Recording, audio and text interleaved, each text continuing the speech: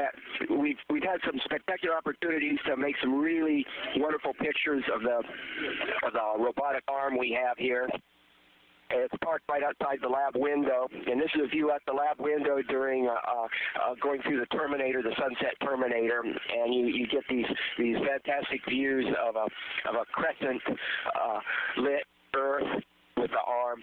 And here here's a view of the arm and uh, again, I apologize. This doesn't show up well on on the the video of the digital still, but there's aurora activity which you can see through the arm. You can see pink, green aurora activity uh, through the arm, and all of this, of course, is in northern Canada.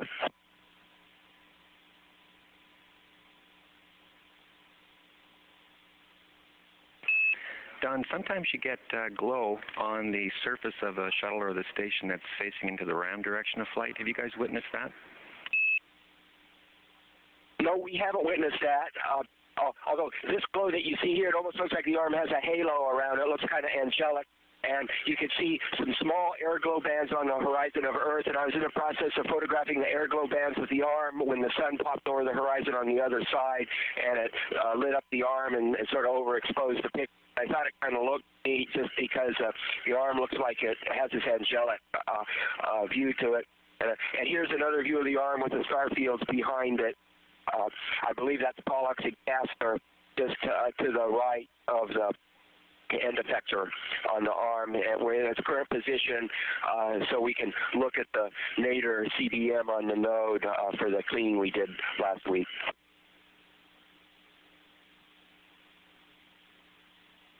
It sort of looks like a street lamp. And then there's one more section here in uh, in a, another few seconds. A city light are just amazing from orbit.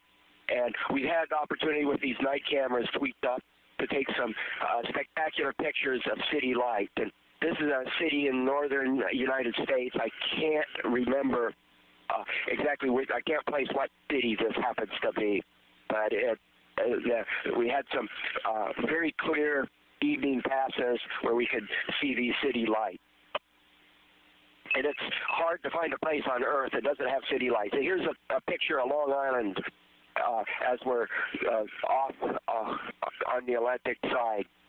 You can see Long Island is pretty well lit up all the way down to uh, Baltimore, I guess. Looks like a scattering of uh, diamonds on, a, on black velvet.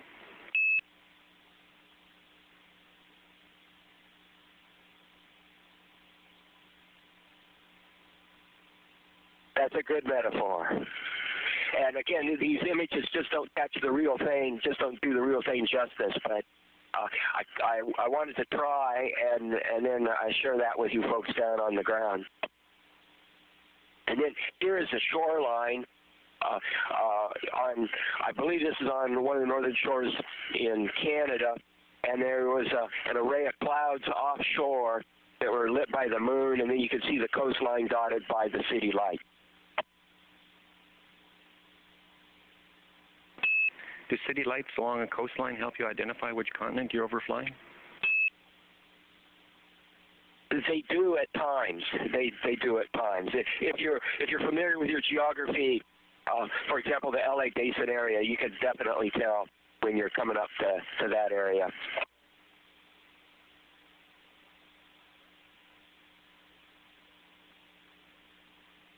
And, and here's some more of the clouds that are over the the, the ocean with the shore. And again, this the the landscape is lit fairly well by the by the near full moon, and then you can see a few little towns dotting on the land. What is that light in the top left corner there? Is that a boat out in the ocean?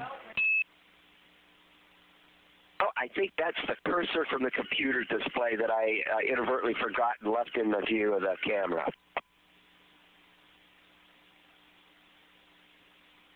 I was hoping nobody would notice that.